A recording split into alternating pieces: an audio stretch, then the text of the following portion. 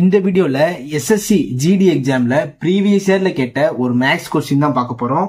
ராகுல் travels a certain distance at a speed of four kilometer per hour and returns at the speed of three kilometer per hour via same route what was is average for the entire journey இந்த கொஸ்டினுக்கு நாலு option தந்திருக்காங்க.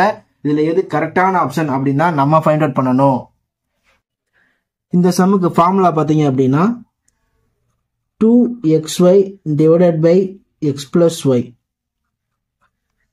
இந்த formula எங்க use பண்ணணும் அப்படின்னா distance சேமா இருந்தா ஆவரேஜ் ஸ்பீடு கண்டுபிடிக்க இந்த ஃபார்முலா யூஸ் பண்ணலாம். இந்த கொஸ்டின்ல பாத்தீங்க அப்படின்னா பெரப்ட்டு ஒரு இடத்துக்கு போறாரு மறுபடியும் அந்த இடத்துல இருந்து பெரப்ட் இடத்துக்கே வந்துடுறாரு.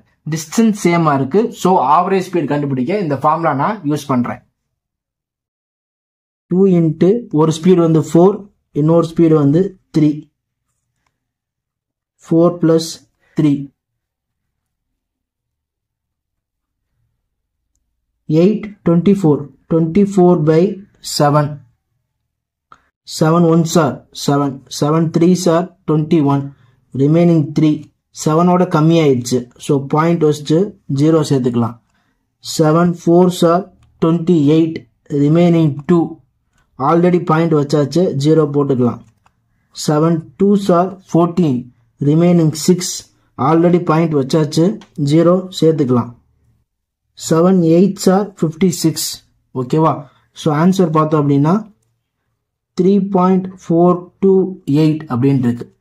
ஸோ ஃபைவ்க்கு மேலே இருந்தால் இதை ஒன்று ஆட் பண்ணிக்கலாம். So three point four three kilometer per hour இது எங்கே இருக்குன்னு பார்த்தீங்கன்னா ஃபஸ்ட் ஆப்ஷனில் இருக்குது so option first three point four three kilometer per hour தான் கரெக்டான ஆன்சர் தேங்க்யூ ஃபார் வாட்சிங்